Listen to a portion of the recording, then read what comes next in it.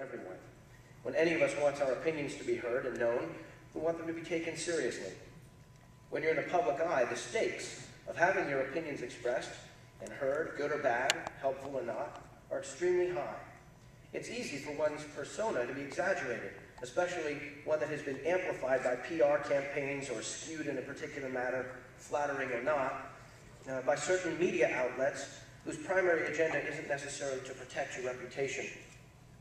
So it's easy to get one-dimensionally locked into the public's mind, and it can be challenging to overcome biases, or even more difficult to recover from self-inflicted mistakes.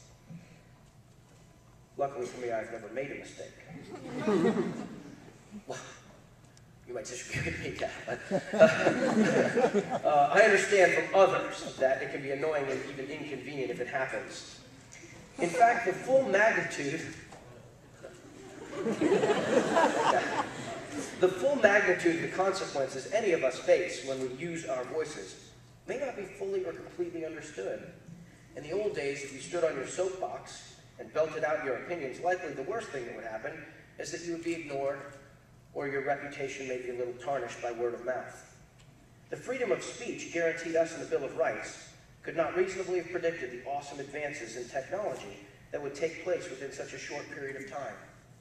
The amendment should have come with a warning label, use at your own risk. The renowned author Thomas Friedman observes that when everyone has a cell phone, everyone is a photographer. When everyone has access to YouTube, everyone is a filmmaker. And when everyone is a blogger, everyone is a newspaper. And then he says, everyone is a public figure. He cautions that every parent should tell their child to be careful because everything they do leaves a digital footprint. His point, his warning, the logical conclusion extending from his prescient observation is that to some extent people, thoughtful people, are extremely vulnerable and perhaps should be genuinely afraid to speak, afraid to act, afraid to be ourselves, and this more than just being a sad state of affairs, as a new reality is fundamentally dangerous, dangerous beyond our own individual safety. This moment we are living in, the tsunami of information and access and universality, with its knee-jerk hyper-overreaction and seriously deficient analytical consideration of events and their consequences, this information technology era, with all of its promise and opportunity for growth and development, can actually represent a clear and present danger to the so-called marketplace of ideas. Because the important ones, the ones that can affect real change and improve the status quo, are quickly identified and ruthlessly attacked by entrenched forces whose interests are worth protecting at all costs. For the moment, it may be a vague and nascent danger for many people, it is already, though, quite perilous for those in the national or international limelight, including in particular celebrities, one subgroup of which is actors. Of course, it is right to be held accountable for our actions, and to the extent that what we say has an appreciable impact on others, it is prudent and necessary to be both, skepti both skeptical and open-minded when subjected to the views of any public speaker including the musings and sometimes ramblings of a hobbit who was too small to get on the Shire football team. and may have something to say. And so I come to Johns Hopkins, full of optimism and enthusiasm and caution. I'm eager to relate some of my acting experiences and offer you some of my thoughts about leadership and a bit about fellowship.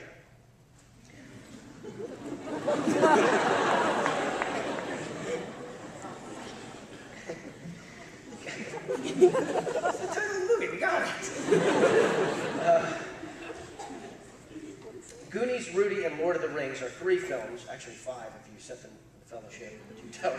All right. Uh, the themes remain meaningful and relevant. Yes, Doug from 50 First Date and Dave Morgan from Encino Man are timeless classics destined to be studied for years at the Smithsonian.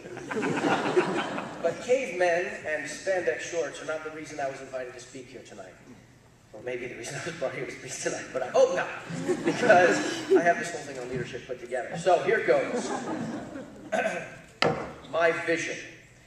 It is... Heard it yet! It's a good vision. Craziness. At least my dad's not heckling from the front row. So here goes, my vision. It has been said that every school in America should be a palace. I couldn't agree more. Every student should have the opportunity to attend a glorious institution like Johns Hopkins University. Every graduate should have a great job waiting for them, and our economy should thrive as everyone lives a full and enjoyable life with recreation and relaxation and contributing the most productive parts of our work lives to the betterment of society, creating products of value that are environmentally sustainable as we preserve the millions of delicate species around us, attempting to resolve conflicts around the world, and continuing to explore the known universe. We should all have awesome playlists designed for us by the coolest people. And we should be able to eat all the food we want with impunity and have free memberships to gyms and save cars that go 100 miles an hour and jetpacks and... I'm sorry. Where was I? Ah, yes. I have something to say. Everyone has a role to play. As a child being raised in a family of performers, I thought I knew what this meant. Shakespeare writes, all the world's a stage, and all the men and women merely players. Everyone has a role to play. Generally, the lessons that I've learned as an actor, and from the roles I've played, have been very useful to me beyond the realms of film and television. Everyone has a role. Pause for dramatic effect. Everyone has a role to play. I first really heard this phrase applied powerfully and directly to my life in the middle of 2003. During that year, right before Operation Iraqi Freedom began, I was appointed to President Bush's Council on Service and Civic Participation.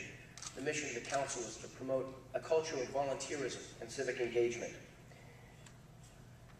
I don't think the administration had seen 50 First Dates. it was. Uh,